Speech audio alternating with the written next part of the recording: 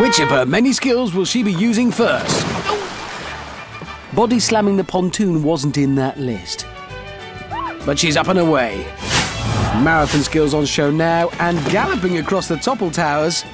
That's probably horse riding skill. Oh.